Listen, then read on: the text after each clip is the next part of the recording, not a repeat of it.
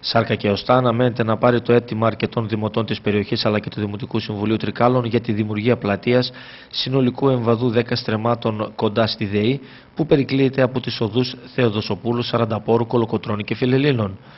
Τον λόγο θέμα απασχόλησε τα μέλη του Δημοτικού Συμβουλίου Τρικάλων στη διάρκεια της τελευταίας συνεδρίασης και ζητήθηκε από τα μέλη του Σώματος η εκπόνηση τεχνικής μελέτης, η ένταξη των παρεμβάσεων στο πρόγραμμα των έργων του 2012, καθώς και η εγγραφή χρηματικού ποσού για την εκτέλεση του έργου. Δεν έχουμε αυτούς τους χώρους που μπορούν να χαίρουν αψυχής είτε όλες οι ηλικίες, από τα μικρά παιδιά μέχρι τους ηλικιωμένους.